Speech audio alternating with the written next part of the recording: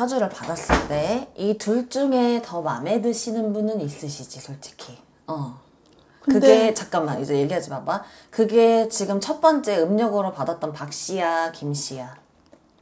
그러니까 물어보는 이유가 있으니까 얘기를 해. 성향이 틀려서. 그러니까 그것 때문에 그런 거니까. 네, 그래서 어. 헷갈려. 어, 어. 그래서 누가 조금 더 마음이 가는데 성향이나 성격이나 이런 성만 얘기해. 응. 그거는 박 씨가 더 난데 응, 응, 응. 속궁합은 김 씨가 더 나요. 음. 근데 김 씨가 바람기가 좀 있는 것 같아 다분해. 그- 그래서 결국은 누가 조금 더 난 것 같은데. 지금 상황에선 박 씨가 좀 나은 것 박 씨? 같아요. 예.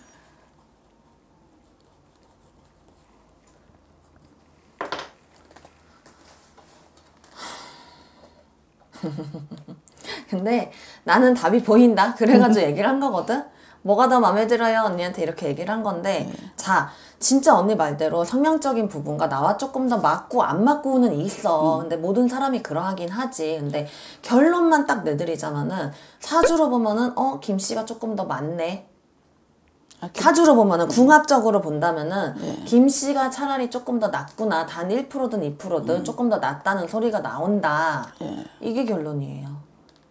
근데 여자 문제가 좀 복잡한 것 같아. 즉 그 사람은 이혼을 한 번 했거든요. 그 사람도. 근데 두 번째 부인이 결혼 혼인 신고는 안 하고 그냥 아기를 낳고 살아요 지금 김포에서. 두 집 살림을 하는 격이지 지금 저랑 12월 달부터 저랑 살고 있거든요. 여기 수지에서. 그 처음에는 이혼을 했다 그래서 살았는데 살다 보니까 뭐가 낌새가 이상해. 카톡을 아예 안 보여줘. 못 보게 해. 휴대폰을 못, 손을 못 대게. 해. 그런 문제가 있는 거야. 그러니까 그랬더니 이성이라는 이름으로 전화가 한 번씩 오는데 다른 전화는 다 내 옆에서 받는데 그 여자한테서 전화 오는 건 나가서 받더라고. 그 할머니가 이렇게 얘기를 해요. 얼마나 큰 거를 바라냐. 물론 뭐 이혼을 했든 안 했든 지금 부부 생활을 하든 안 하든 지금 이 둘 이 둘 중에 비교를 했을 때는 이 사람이 좀 더 나아요라고 얘기를 해준 거지. 멀리서 지켜보면은 이 둘 다는 솔직히 언니의 인연자는 아니야. 근데 자 지금 환경이 그러하다고 했어요. 참고 만날 거면 만나면 돼. 아니면은 그냥 잘러. 그 사람은 그쪽을 자를 생각으로 그러나 보던데. 그 이제 지금 이제 뭐 두 집 살림을 한다 했을 때 그쪽을 자르고 언니를 만나려고 하는 것 같다고? 아니 아니야. 정확히 답을 드리자면 그건 아니에요. 자 한 그렇게 됐을 경우에는 지금 현재 뭐 한번 갔다 왔다 뭐 했다 했지만은 그러면은 언니만 잡고 있었어야지. 왜 도둑질 한 번 한 사람이 두 번은 못 할 것 같아? 이 소리가 나오거든. 아니 그러니까 전 지금 그 애기 애기 쌍둥이를 낳아서 기르고 있거든요. 초등학교 4학년짜리 애들. 그 그 여자 만날 때도 전 부인하고 살면서 바람 펴서 만난 거더라고. 그러니까 도둑질 두 번은 못하냐 그러잖아 그러니까 한 번 바람 핀 사람은 또. 필 거란 말이지. 그렇지 아니 그 여자를 자르고 나랑 살아도 또 필 거란 말이지. 나랑 살면서. 그렇지 그러니까 근데 지금 들이댄 지금 이제 언니가 얘기해준 사주로서는 그래도 이 사람이랑 조금 더 연이 깊다. 조금 더 맞다 소리는 나오지만 환경적인 부분이 그렇다면은 자르고 안 자르고는 이건 언니 선택에 달린 거예요. 이런 점을 본다고 하더라도 우리는 그냥 읊어줄 뿐이야. 이 사람이 조금 더 낫고요 한데 그러면 입에서 나오는 소리 봐봐. 도둑질 한 번 한 놈이 두 번은 못하겠냐 소리가 나오잖아. 어. 박씨 같은 경우는 그리고 언니가 착각을 하고 있는 게 우리 할머니가 정확히 짚어주라 그러거든. 네. 거기를 정리하고 언니를 만나고 그건 아니야. 그럴 것 같아. 응 응 응응. 그건 애들이 아니야. 애들이 있는데 응, 그러기가 쉽지 않겠지. 응, 그렇지. 자기네 엄마 아버지한테도 다 왕래를 하는 것 같던데. 그래서 언니가 바라는 바는 뭔데? 딴 사람 만날 생각은 없고? 김 씨를 헤어질 생각이거든요 지금. 응 응 응. 그리고 박 씨를 만날 생각을 하고 있는데 참 이게 웃긴다. 연애라는 게 언니 결혼을 착한 남자랑 하는 게 맞거든. 근데 연애는 좀 재밌는 놈이랑 해야 된다고 생각해 나는. 근데 내가 그걸 부추기는 건 절대 아니야. 근데 언니도 분명히 여자이기 때문에 비슷할 거라고 생각을 해. 자, 박 씨를 만나면은 그냥 저냥 조금 무료하거나 등등등 그렇게 지나갈 거야. 근데 김 씨를 만나면 뭔가 약간 이슈화 되는 것들이 많어. 어, 조금 골치 아픈 일이 생겨도 이슈화 되는 것들이 많기 때문에 내가 이 사람한테 본의 아니게 집중을 좀 하게 되고 신경이 쓰여버리고 이렇게 되는 격이거든. 그게 이제 마음이, 내가 언니 마음은 다 모르니까 마음이 다 가는지는 나도 모르겠다만 결국에 결론만 얘기하면은 박 씨를 붙잡고 싶어도 나중에는 김 씨까지 붙잡아 갖고서는 박 씨를 버리고 김 씨를 만나게 될것 같은 이유는 뭐지?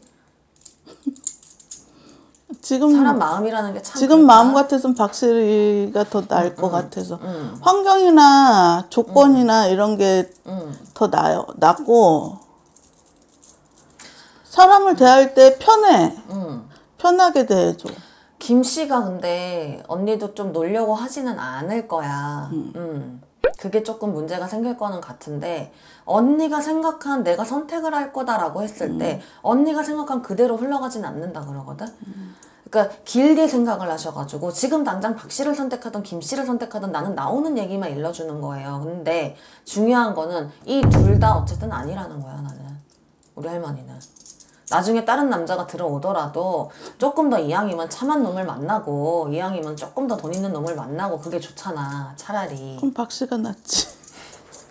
그러니까 지금 있는 거는 어 지금 있는 거는. 근데 지금 이렇게 김 씨랑 박 씨가 있어도 승혜는 안 찬다는 거야 할머니는. 네 짝이 아니라는 거예요 결론은.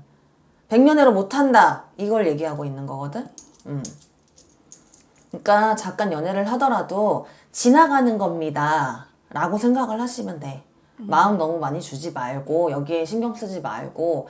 이렇게 남자분들한테 신경 쓰면 내 일을 또 못하게 돼 있거든. 그러니까 그러지는 말아라. 어쨌든 저들 인생은 김 씨든 박 씨든 저들 인생은 저들 인생이야. 근데 언니한테도 언니 인생은 언니 인생이잖아.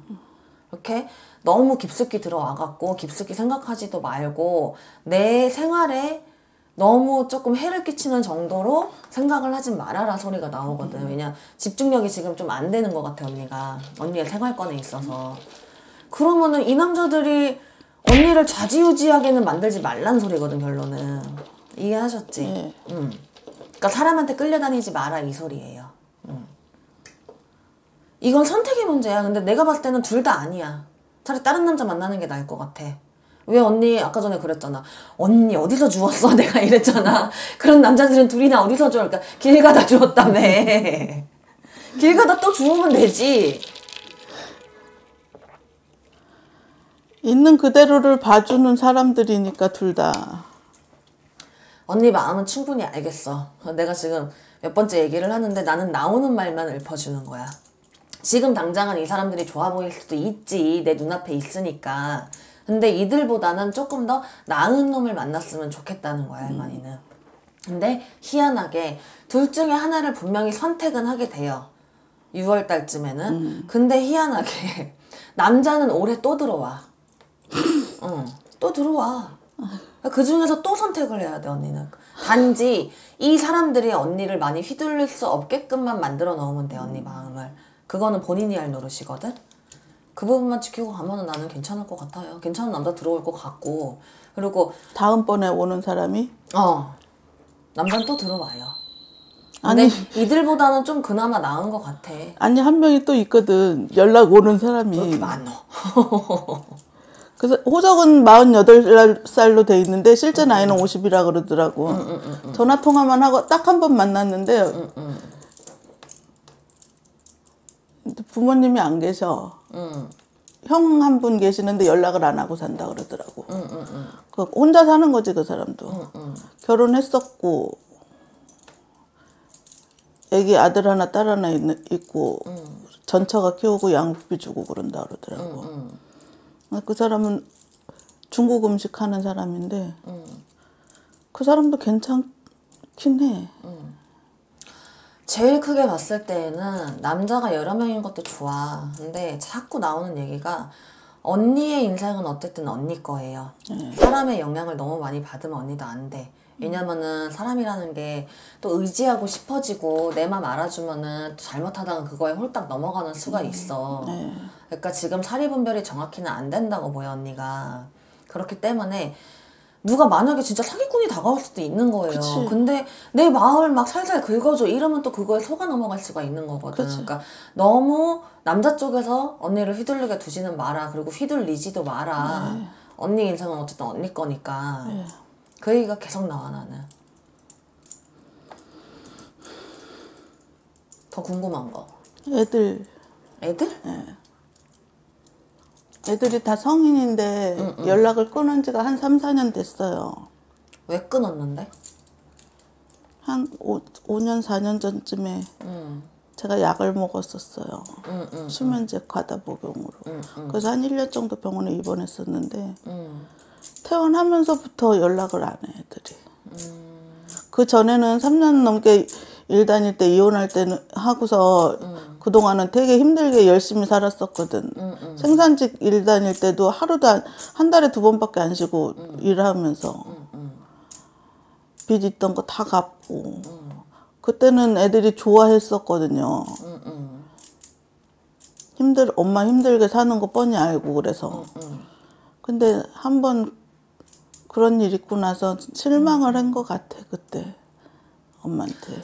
그거 하나만은 아닐 거라는 소리는 솔직히 나와요. 네. 언니가 이제 열심히 어떻게 어떻게 살고 그거를 나도 그 마음을 다 뭐 헤아려 주고 이럴 수는 없겠다마는 근데 언니도 분명히 실수적이고 미스적인 부분은 그 사건뿐만은 아니었을 거란 소리가 나오거든. 안 좋은 모습들도 살면서 분명히 보여준 게 있었을 거야. 그런 부분들이 아이들한테는 조금 이제 누적이 돼 있을 거다라고 얘기가 나오는데 큰애 같은 경우는 어렸을 때부터 진짜 많이 맞고 살았어요 저한테.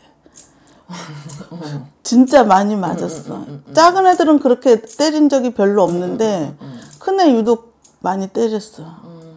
지네 아빠가 똑같이 생겨갖고 지네 아빠랑 싸우면 큰애한테 화풀이를 했으니까. 에휴. 애한테 화풀이 하면 안 되는 거 아는데 그때 우울증도 우울증도 되게 심했었어요.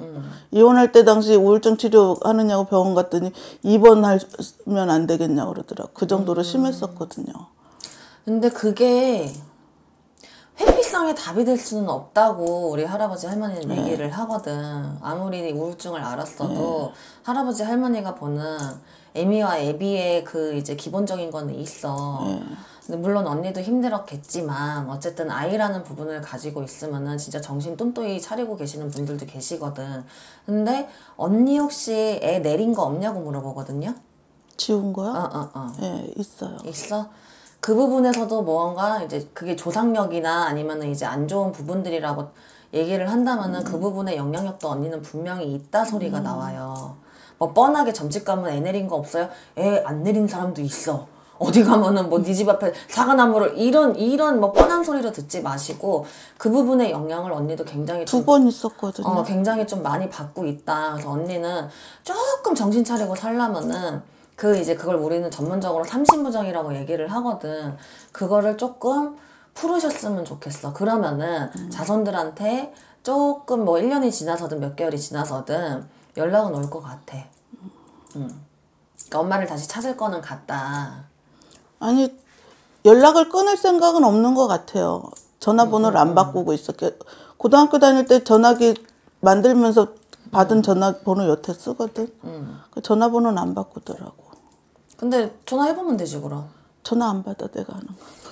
안 받고 카톡해도 카톡도 보기만 하고 안 답이 없어. 보는 게 어디야? 그럼 차단은 안 했다는 거고. 그러니까.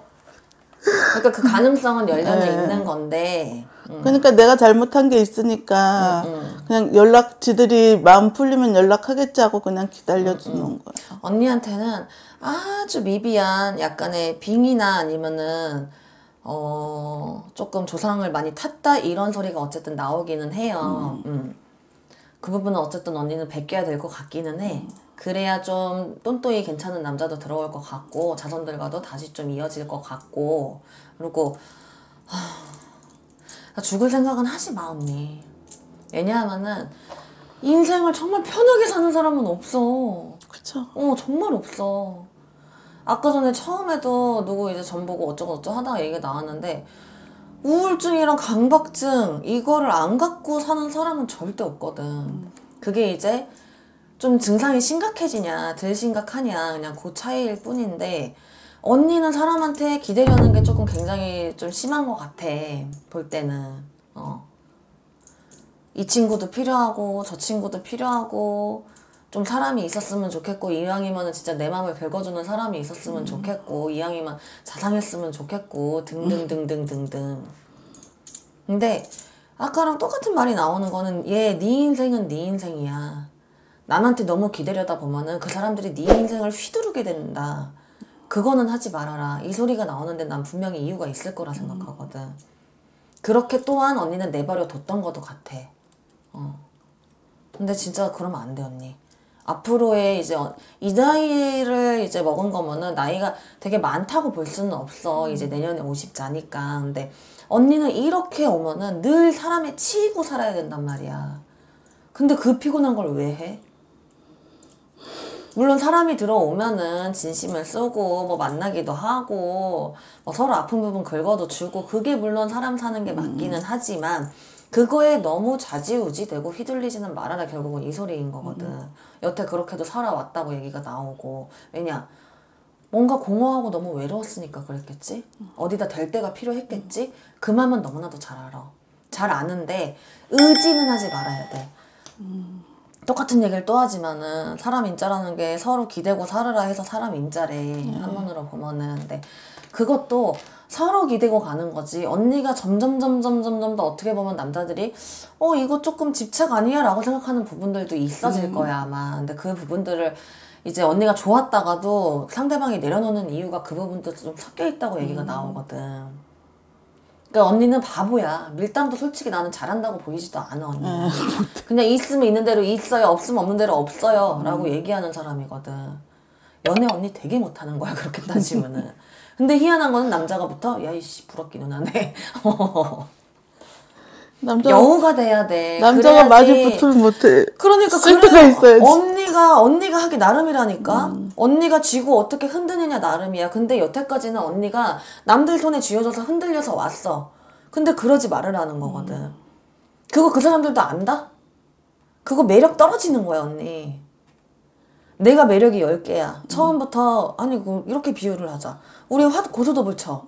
패 다 보여주고 고소톱 쳐? 아니. 아니잖아. 근데 언니는 그 패를 다 보여주고 있대. 패 다 보여주고 나를 어떻게 하세요? 막 이런 거 있잖아. 그러면 안 돼. 패는 하나씩 꺼내야 되는 거야. 보일랑 말랑 해야 되는 거고. 고수톱은 그렇게 치는 거잖아. 근데 다 까고 있어.